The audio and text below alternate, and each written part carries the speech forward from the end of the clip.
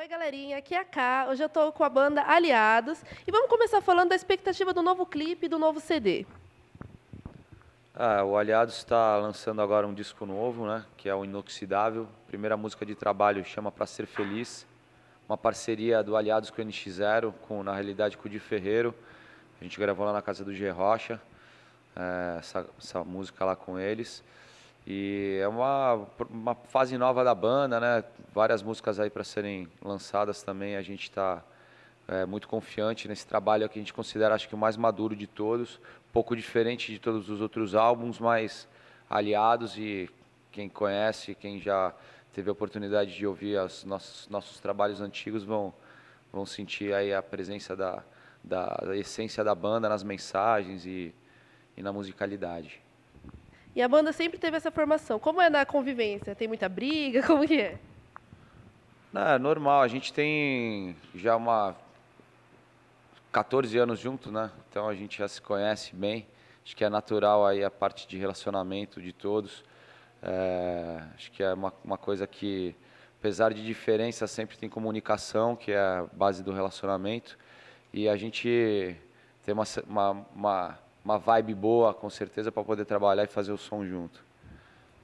E vocês é, já lançaram é, CD por meio independente da gravadora. Qual que é a maior diferença? Se tem algum prós e contras? Como que é? é? hoje em dia mudou muito o mercado, né? A gente tem que trabalhar um pouco até em formato de gravadora, mesmo sendo um lançamento de um disco, né? É, não é independente, né? Porque acho que a gente tem um grupo trabalhando junto, então Acho que quando a gente eh, ainda é órfão, a gente realmente é independente, só que a gente tem um, um, um grupo né, empresarial, então não é só a banda. É, então acho que isso aí já acaba sendo um formato de gravadora, né?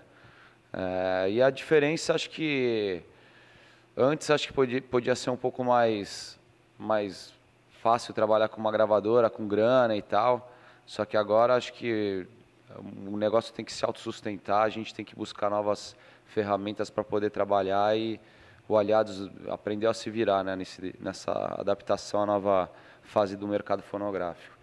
E o que, que um fã precisa ser, ser ou fazer para ser um aliado da banda?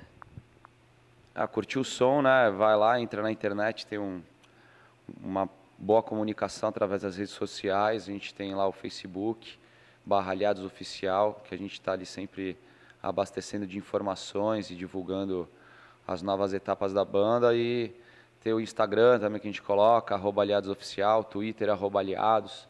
Quem quiser saber mais e ser aliado é só entrar lá na internet e ver. E vocês também estão sempre ligados a projetos sociais. Atualmente vocês estão com algum ou algum outro projeto? A gente teve né, um, um, que vai ser eterno, né, que é uma parceria que a gente fez com a Casa Ronald de São Paulo, com o clipe Esperança onde a monetização dos, dos views do YouTube a gente doa para casa, uma ação simbólica, mas vai estar sempre ali é, como uma causa social que o Aliados vai se preocupa e acho que a gente tem outros também, sempre cada um ajuda individualmente e tal, sempre participando de alguma campanha ou outra nas causas sociais. Salve galera do Universo Team, nós somos a banda Aliados, estamos de volta aqui em Tupã. Um grande prazer estar aqui com vocês. Obrigado aí por estarem acompanhando o nosso trabalho. Vamos que vamos para ser feliz. CD novo chegando, inoxidável. Valeu Tupã, valeu galera do Universo Team. Aliados. Águas passadas só irão